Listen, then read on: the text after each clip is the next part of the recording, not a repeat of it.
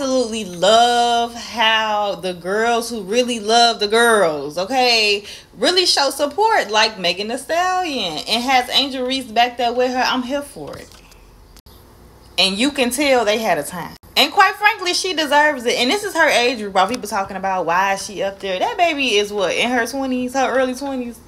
And Glorilla also shout out to Purdy for this.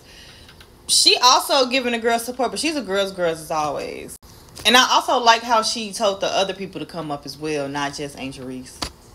I would rather for Angel Reese to have this type of publicity than to have what Caitlin Clark is having. Not trying to compare the two, but I am because y'all put so much money into her.